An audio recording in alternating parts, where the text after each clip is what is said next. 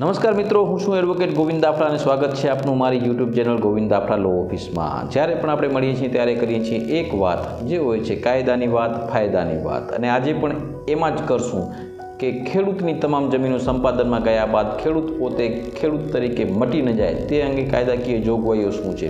અને આવી જોગવાઈઓની ચર્ચા કરીએ આજે વિગતવાર.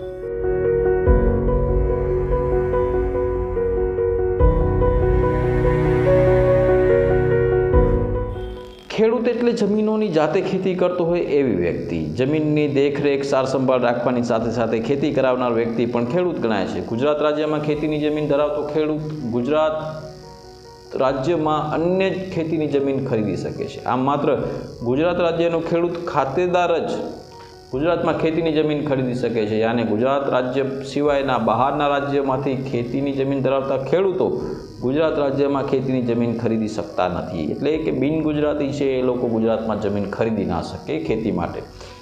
રાજ્ય બહારના ખેડૂતોએ ગુજરાતમાં ખેતીની જમીન ખરીદ કરવા માટે બિન ખેડૂત તરીકે સક્ષમ અધિકારી પાસેથી પરવાનગી લેવી જરૂરી છે. જ્યારે રાજ્ય સરકારને કોઈ જાહેર હેતુ માટે અથવા કંપનીઓ માટે કોઈ જમીનની જરૂર હોય અથવા તે માટે ભવિષ્યમાં તેની જરૂર ઊભી થવાની સંભાવના હોય તો સરકાર તે બાબતે જમીન એક્વાયર એટલે કે સંપાદન કરવા માટે જાહેરનામું પ્રસિદ્ધ કરીને જમીન સંપાદન અંગેની કાર્યવાહી શરૂઆત કરી શકે છે.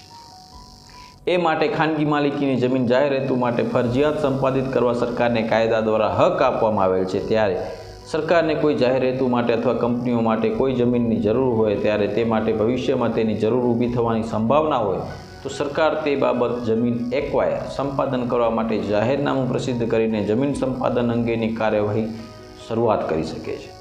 જાહેર હેતુ માટે, વિકાસના કાર્યો માટે કે ખાનગી માલિકીની જમીન ફરજિયાત સંપાદિત એક્વાયર કરવા અને તે બદલ વળતર આપવા, વળતરની રકમ નક્કી કરવા, વાંધાઓ ધ્યાને લેવા વગેરે જેવી તમામ બાબતો લક્ષમાં લઈ જમીન સંપાદન અધિનિયમની રચના કરવામાં આવી અને તેમાં વખતો વખત સુધારા વધારા પણ કરવામાં આવ્યા છે. ખેડૂત ખાતેદારનું અવસાન થવાથી યા અકાળે મૃત્યુ થવાના સંજોગોમાં મરનાર વ્યક્તિની વારસાઈ કરવાના સમયે તેમજ ખેડૂત ખાતેદાર પોતાની હયાતી દરમિયાન પણ તેની પોતાની જમીનની વહેંચણી પોતાના વારસદારો વચ્ચે કરે ત્યારે તેમજ સંયુક્ત ખાતેદારો પૈકી કેટલાક ભાઈઓ અથવા બહેનો પોતાના ભાગમાં આવતા જમીન પરનો પોતાનો હક સ્વૈચ્છિક રીતે છોડી દે છે, જતો કરે છે અથવા આ રીતે હક છોડાવ્યા બાદ ઘણા પ્રસંગોમાં તેવી વ્યક્તિ પાસે રાજ્યમાં અન્ય કોઈ ખેતીની જમીન બચતી ન હોય તેવું પણ બને છે. તેના કારણે તેવી વ્યક્તિ ખેડૂત તરીકે મટી પણ શકે છે અને આ તમામ સંજોગોમાં તેવી વ્યક્તિનો ખેડૂત તરીકેનો દરજ્જો ટકાવી રાખવો એ ખૂબ જ મોટો પ્રશ્ન ઉપસ્થિત થાય છે અને આવી વ્યક્તિઓના ખેડૂત તરીકેનો દરજ્જો ચાલુ રહે એ માટે ખેડૂત પ્રમાણપત્ર આપવા સંબંધી પરિપત્ર રાજ્ય સરકારના મહેસૂલ વિભાગ દ્વારા ઠરાવ ક્રમાંક ગણત દસ બે હજાર ત્રણ નવસો સિત્તોતેર જ થી તારીખ ઓગણત્રીસ ત્રણ બે હજાર પાંચના રોજ પરિપત્ર બહાર પાડવામાં આવેલ છે. અને આ પરિપત્રમાં ખેડૂત તરીકેનો દરજ્જો ચાલુ રહે તે માટે ખેડૂત પ્રમાણપત્ર આપવાનું અને તેની કેટલીક શરતોની જોગવાઈઓ પણ કરવામાં આવેલ છે.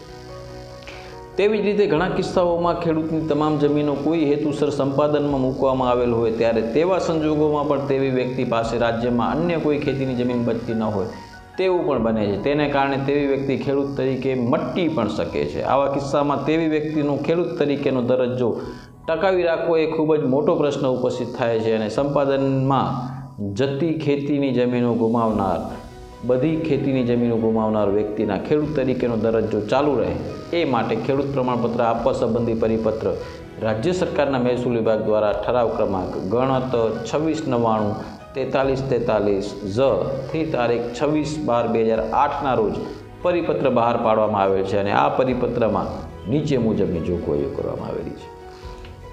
જે ખેડૂતની તમામ જમીનનું સંપાદનમાં જતી હોય તે ખેડૂતને નવેસરથી ખેતીની જમીન ખરીદવા માટે મુશ્કેલી ના પડે તે માટેના વળતર ચૂકવતી વખતે અથવા જમીનનો કબજો સંભાળતી વખતે જ ખાસ જમીન અધિકારી કે સંબંધિત કલેક્ટરશ્રીએ ખેડૂતની સંબંધિત ખેડૂતને ખેતીની જમીન ખરીદ કરી શકશે. તે પ્રમાણેનું પ્રમાણપત્ર આપવાની સત્તા સંબંધિત ખાસ જમીન સંપાદન અધિકારી કે કલેક્ટરશ્રીને આપવામાં આવે છે.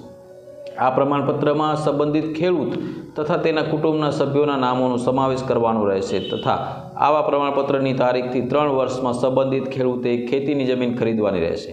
આવું પ્રમાણપત્ર સંપાદન થતી જમીનના આધારે આપવાનું થતું હોય. સંબંધિત ખેડૂત પાસેથી આધાર પુરાવા માંગવાના રહેશે નહીં. એવી જ રીતે સંપાદનમાં બધી ખેતીની જમીનો ગુમાવનાર વ્યક્તિઓના ખેડૂત તરીકેનો દરજ્જો ચાલુ રહે. એ માટે ખેડૂત પ્રમાણપત્ર આપવા સંબંધિત રાજ્ય સરકારના મહેસૂલ વિભાગે ઠરાવ ક્રમાંક ગણત બાવીસ જીરો નવ, એમએલએ નવ ઝથી તારીખ એક સાત બે હજાર નવના રોજ પરિપત્ર બહાર પાડી કેટલાક સુધારા કરેલ. જે સુધારાઓ નીચે મુજબ છે. સૌથી પહેલો સુધારો કરવામાં આવ્યો કે એક જમીન સંપાદનમાં જમીન ગુમાવનાર ખેડૂતનો દરજ્જો ચાલુ રાખવા કલેક્ટરનું પ્રમાણપત્ર મળ્યા તારીખથી. ત્રણ વર્ષની સમયમર્યાદામાં રાજ્યમાં અન્ય સ્થળે ખેતીની જમીન ખરીદવાનું આમુખ બેના ઠરાવથી નક્કી કરવામાં આવેલ છે. તે જ ધોરણે એકત્રીકરણ કાયદાના અમલીકરણના કારણે કૌટુંબિક વહેંચણીના પરિણામે પોતાનો ભાગ જતો કરનાર સભ્યનો ખેડૂત તરીકેનો દરજ્જો ચાલુ રાખવા કલેક્ટરનું પ્રમાણપત્ર મળ્યા તારીખથી. ત્રણ વર્ષનો સમય મર્યાદા રાજ્યમાં અન્ય સ્થળે ખેતીની જમીન ખરીદ કરી લેવાની રહેશે. એટલે હવેથી જે સરકારે કરી નાખ્યું છે ઓનલાઈન, કે હવે તમે જ્યાં પણ ખેતીની જમીન ધારણ કરો છો, ત્યાંના પ્રાંત અધિકારી પાસેથી તમે ખેડૂત છો, એ મતલબનું પ્રમાણપત્ર મેળવવા માંગણી કરી શકો છો. અને આવી માંગણી તમારે ઓનલાઈન કરવાની હોય છે. I O R A dot Gujarat dot G O V dot I N portal ઉપરથી બે હજાર રૂપિયા ભરીને આવી એપ્લિકેશન ખેડૂત ખાતેદાર માટેની કરી શકાય છે. જો એક સાત બારના એક આઠ અમાં છ ખાતેદાર છે અને છ સંયુક્ત નામ છે, તો દરેક વ્યક્તિ દીઠ બે હજાર રૂપિયા પ્રમાણપત્રના ભરવાની જોગવાઈ છે. ઇન્ડિવિજ્યુઅલ એપ્લિકેશન એન્ડ ઇન્ડિવિજ્યુઅલ સર્ટિફિકેશનની પ્રોસેસ છે.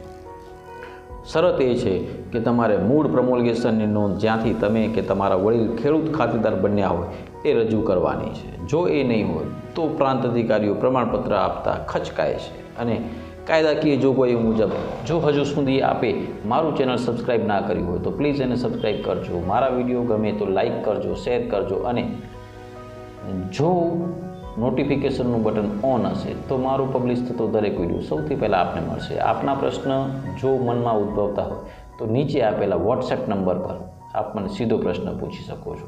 નવા એપિસોડમાં કરીએ નવી વાત, કાયદાની વાત, ફાયદાની વાત. ત્યાં સુધી રજા આપજો. જય હિન્દ, જય ભારત.